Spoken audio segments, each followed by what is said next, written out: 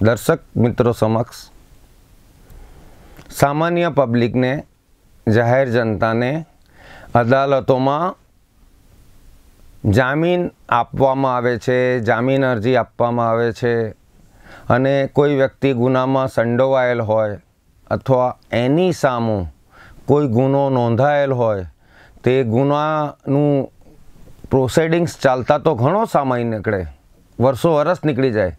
તે દરમિયાનમાં જેના ઉપર ગુનો નોંધાયો છે અથવા જેના ઉપર ગુનાનો આક્ષેપ થયો છે, તે વ્યક્તિ નામદાર અદાલતમાં જામીન લેવા માટે અરજી આપી શકશે કે આ કેસ ચાલતા લાંબો સમય થશે અને તે દરમિયાનમાં હું જેલમાં રહીશ તો મારું ફ્યુચર બગડશે.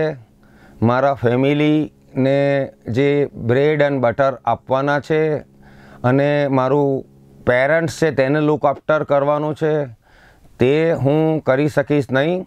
તો મને મહેરબાની કરીને જામીન ઉપર મુક્ત કરો અને આવી રીતે જામીન ઉપર મુક્ત અદાલતો આ અમુક કેસોમાં આરોપીને કે જેના ઉપર ગુનાનો આક્ષેપ થયો છે.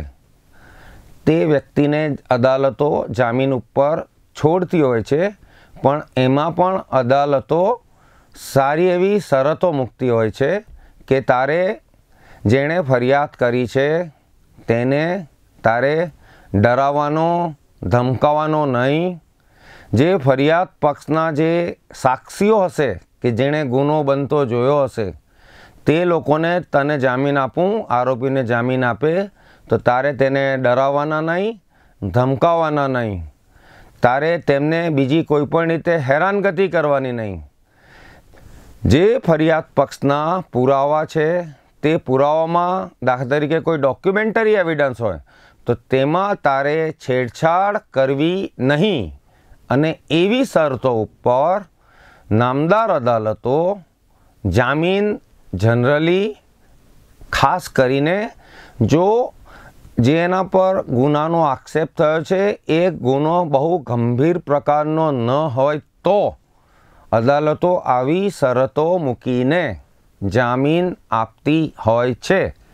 પરંતુ જ્યારે કોઈ વ્યક્તિ સામે if he is alleged to have committed an offence punishable with imprisonment for life or imprisonment extending to 10 years.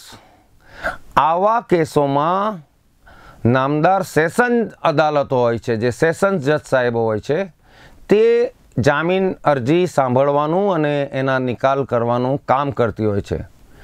આવા કેસોમાં જનરલી અદાલતો જામીન આપતી વખતે ખૂબ જ ધ્યાન રાખે છે અને ખૂબ જ કોશિયસ હોય છે.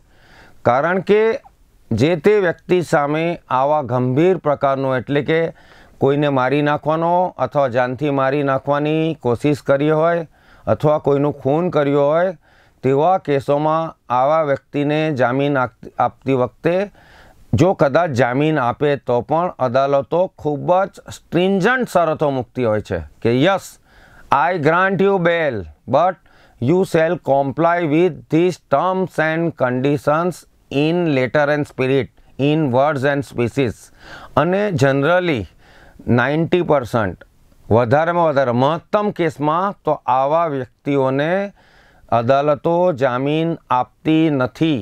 એનું કારણ એ છે કે આવા જેની સામે વીસ વર્ષ સુધીની સજાનો ગુનો નોંધાયેલ હોય અથવા આક્ષેપ થયેલો હોય, તે એ વ્યક્તિ જામીન લીધા પછી ભાગી જશે. એવી જગ્યાએ ચાલ્યો જશે કે ત્યાં એને પકડવો મુશ્કેલ હોય. અથવા તો જેણે ફરિયાદ કરી હશે તે વ્યક્તિને અથવા જે ફરિયાદ પક્ષના સાક્ષી હશે તે સાક્ષીઓને પણ કદાચ ડરાવશે, ધમકાવશે અને સો સો કે મારી નાખવાની પણ તજવીજ કરશે. ત્યારે આવા કેસમાં નામદાર સેશન્સ જજ સાહેબો ખૂબ જ સ્ટ્રીક હોય છે અને ઇઝીલી જામીનો મળતા નથી એટલે એને જામીન આપતા નથી. એને કેસ ચાલે ત્યાં સુધી જેલમાં જ રાખવામાં આવે છે અને એની જામીન અરજી રદ કરવામાં આવે છે. આટલું જાણીને દર્શક મિત્રો, આવું પણ કહેશે કે એસા બી હોતા હૈ. Thank you very much